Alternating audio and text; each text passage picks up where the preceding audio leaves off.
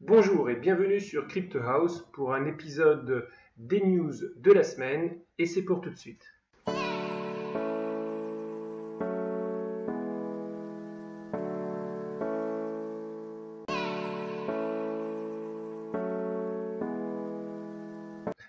Habituellement, donc, on commence la revue par le market cap. Alors aujourd'hui, on a un market cap qui est encore plus bas que la semaine dernière. On est descendu à 235 milliards. Alors, où est-ce que ça va s'arrêter? Je sais pas. On va regarder un petit peu le, la tendance là sur le market cap. À quoi ça ressemble? Et à quel niveau on est par rapport à l'année dernière? Donc, on voit que là, on est redescendu, si je prends sur euh, un an, à un niveau à peu près de mi-novembre. on est vers, euh, vers mi-novembre, même niveau que mi-novembre, ce qui est très très bas. Et quand on voit la tendance depuis la dernière crise, c'est vraiment une, euh, chute euh, progressive, mais une chute. Donc jusqu'où on va arriver aujourd'hui, bah, personne ne le sait à vrai dire. si on retourne ici sur le market cap, s'il veut bien, voilà, alors, on voit que bah, tous les coins sont malheureusement dans le rouge et c'est pas des, petites baisses, hein. c'est même pire, je crois, que la semaine dernière parce que là, on a quasiment euh, toutes les cryptos à des double digits. Moi, j'ai des, cryptos dans mon portfolio qui sont en dessous euh, de ce que c'était l'été dernier et parfois par beaucoup, beaucoup. Je pense notamment par exemple à ARC que j'ai regardé là tout à l'heure quasiment à, moins 40% par rapport euh, à ce que j'ai acheté euh, l'été dernier. Donc euh, c'est très très bas. les news ne sont pas très très bonnes. Si on prend par exemple le président d'Alibaba, Jack Ma, donc lui dit, il dit que le, Bitcoin c'est clairement une bulle spéculative et il met en garde contre cette bulle spéculative. Par contre, il croit en la technologie blockchain.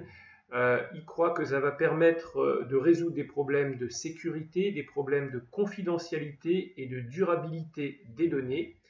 D'ailleurs, ce qu'il faut savoir, c'est que Ant Financial, qui est donc une société du groupe Alibaba, ils viennent de tester un premier paiement grâce à la blockchain et c'est un paiement qui a pris 3 secondes.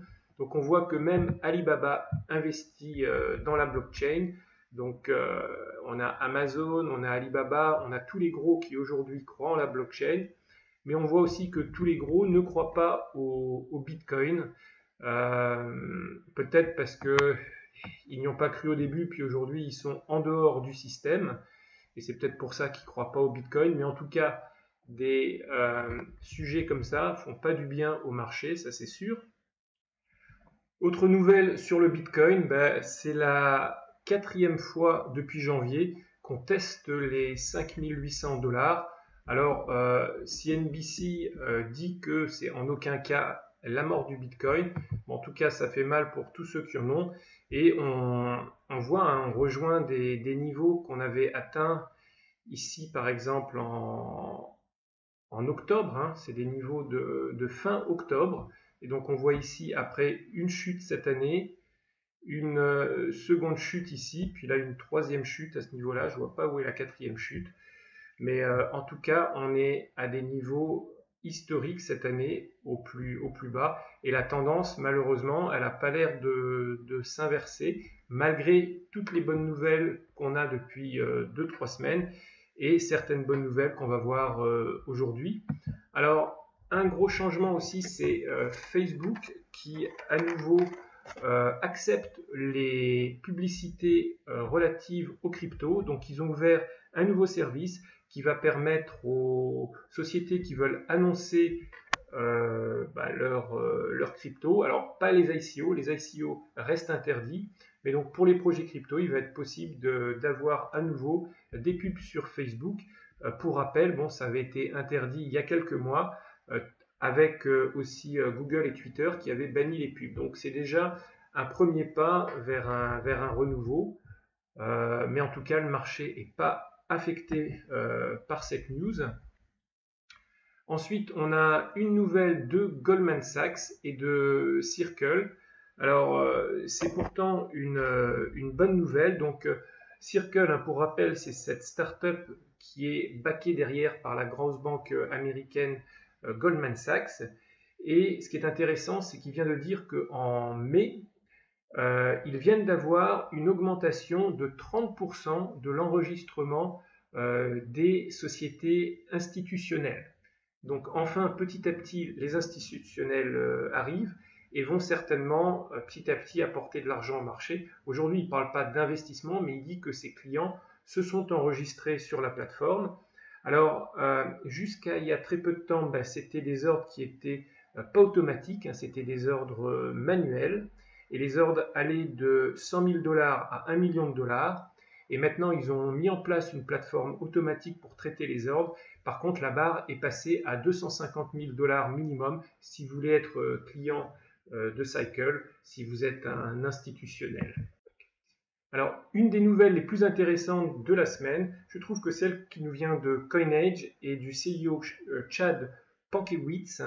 Alors, il dit qu'il doit y avoir une décorrélation entre le prix du Bitcoin et des autres cryptos. Que c'est pas normal que quand le Bitcoin chute, que tout le marché chute avec le Bitcoin. Donc, il doit y avoir cette décorrélation parce que il y a des milliers de personnes qui travaillent dans des centaines d'entreprises aujourd'hui et euh, tout est corrélé au prix du Bitcoin, ce qui n'est pas normal parce qu'il y a beaucoup de projets euh, qui avancent, il y a des POC qui sont faits, il commence à y avoir des premiers contrats, les sociétés engagent, les tokens commencent à être utilisés, mais malgré tout, tout est lié au prix du Bitcoin. Alors ce sont des projets qui n'ont rien à voir avec le Bitcoin, ce sont des projets blockchain, qui peuvent être montés sur Ethereum ou sur leur propre blockchain, mais malheureusement, le prix est toujours lié euh, au Bitcoin. En plus, euh, je ne sais pas si c'est facile pour vous, mais en tout cas pour moi, c'est très difficile de prendre ici une crypto. Si je passe ici d'USD en BTC, et voilà, bah, par exemple, un Stellar, ça vaut 0,00029 BTC ou alors 2982 Satoshi. Pour moi, ça me dit rien du tout, ça dit rien du tout à la plupart des, gens. Et donc, euh, je pense que les cryptos, euh, tout comme donc le dit Chad, elles devraient être adossées plus à une monnaie euh, comme l'US dollar ou alors l'USDT, donc le Tether. Dites-moi ce que vous en pensez, ce sera intéressant d'avoir aussi votre avis sur ça.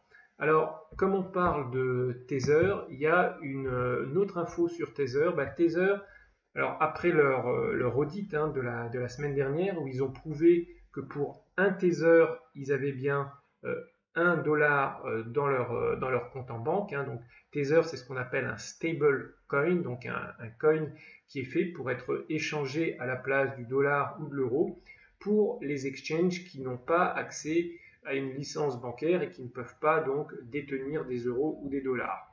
Et là, donc Tether vient d'imprimer 250 millions de Tether, donc ça veut dire qu'ils ont 250 millions de dollars en plus euh, en banque, mais ça veut dire aussi qu'il y a de la demande, que le marché demande plus de Tether, et donc ça va passer de 2,2 milliards à peu près à 2,5 milliards euh, prochainement. On va maintenant s'attaquer à VeChain qui euh, lance son mainnet d'ici la fin de mois, donc vraiment dans 2-3 jours. Et il y a deux choses intéressantes. Alors d'abord, euh, ce qu'il faut savoir, c'est que quand il va y avoir ce lancement de mainnet et le swap qu'il va y avoir des tokens, pour un VeChain token que vous avez, vous allez recevoir 100 je crois que c'est les VinTor Token. Donc c'est un nouveau token qui va être euh, généré. Donc le token actuellement il est sur euh, Ethereum, mais bon il va passer donc sur sa chaîne. Et euh, à cette occasion, donc pour un VeChain, vous aurez 100 tokens VinTor. Je crois que ça s'appelle comme ça. Alors pourquoi avoir fait ce changement? Bah, D'abord parce que ce sera plus facile à, compter d'après ce qu'ils disent et aussi VeChain. Voilà, là il a 2,41 Et aussi, ça permettra de booster un petit peu le token parce que les gens ils vont se dire, bah tiens, à 0,2 cents, c'est intéressant et c'est sous-évalué, mais en fin de compte, il y aura 100 fois plus de tokens. Mais bon, tout ça, c'est psychologique. Autre chose qu'on apprend qui est intéressant dans cet article, c'est aussi qu'ils vont générer du gaz. Alors, je ne sais pas si vous connaissez un petit peu le concept de NEO, mais donc NEO fonctionne avec des smart contracts, et pour faire fonctionner les smart contracts, NEO fournit du gaz. Et le gaz, vous l'obtenez quand vous avez euh, du NEO sur Binance, donc un, exchange qui supporte ce concept, ou alors sur votre wallet. Et là, avec VeChain, c'est pareil. Quand vous allez mettre euh, les nouveaux tokens sur euh, le wallet et sur certains exchanges qui le supportent, vous allez recevoir des tokens Tor, donc le gaz pour les tokens VIN-TOR. Alors c'est un petit peu compliqué.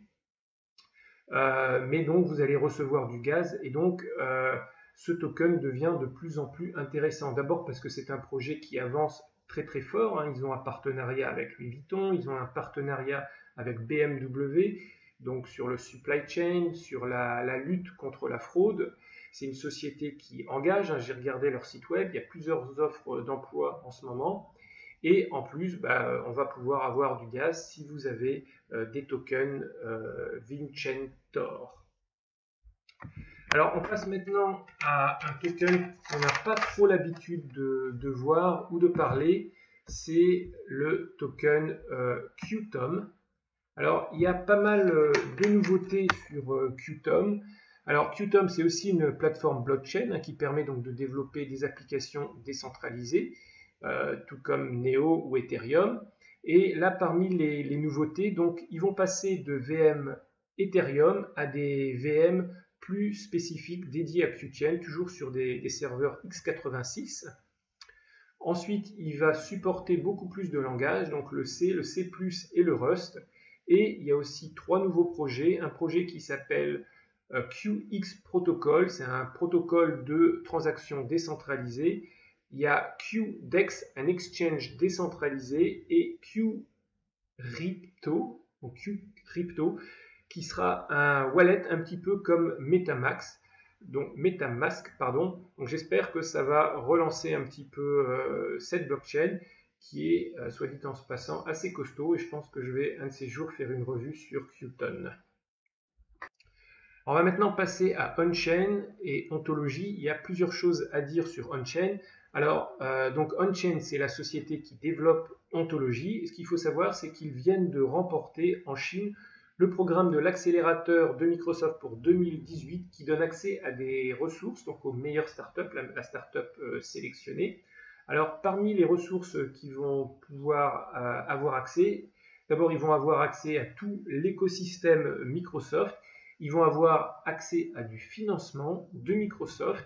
Ils vont avoir accès à des consultants, des conseillers et aussi aux clients importants de Microsoft. Donc ça risque de booster euh, cette blockchain qui est déjà euh, super bien classée au market cap, hein, qui a quelques mois été nulle part. Et aujourd'hui donc Ontologie est déjà 19e et je pense qu'avec euh, un push derrière de Microsoft, ça risque encore d'accélérer leur développement.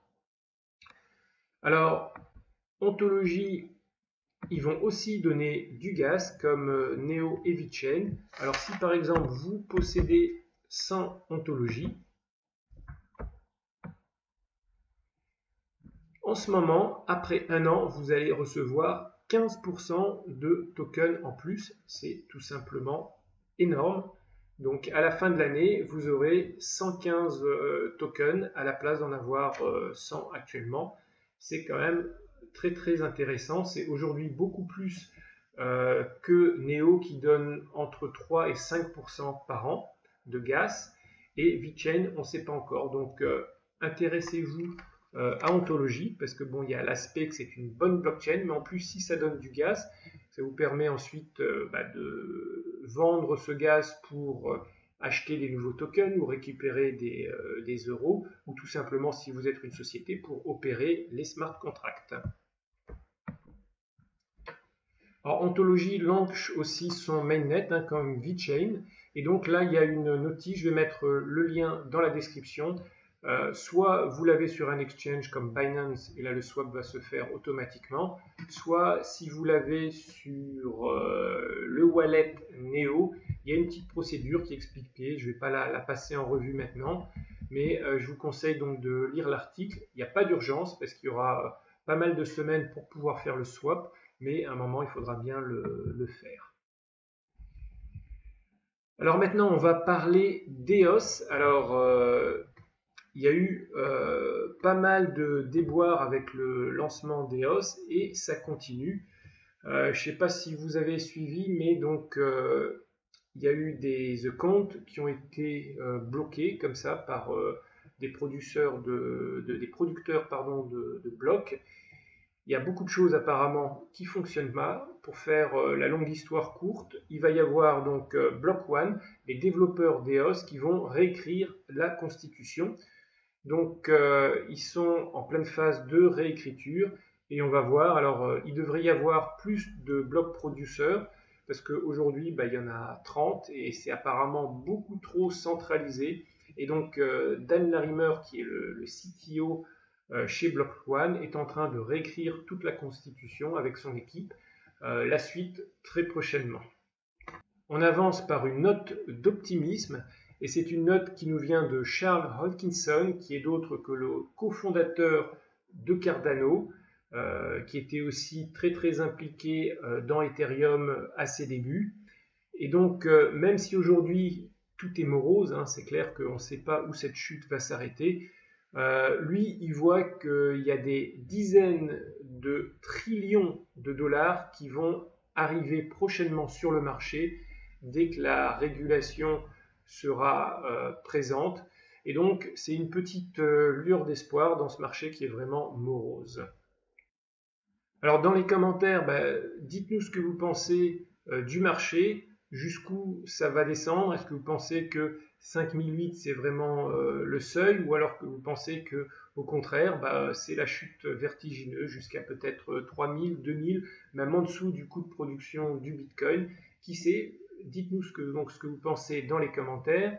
Euh, et qu'est-ce que vous avez pensé de cet article du président de euh, Coinage, hein, donc de Chad, qui propose que les cryptos soient décorrélés du Bitcoin? Donc faites-le nous savoir. Si vous avez aimé cette vidéo, ben, un petit pouce vers le haut, ça fait toujours plaisir. Et moi je vous dis à bientôt. Ciao ciao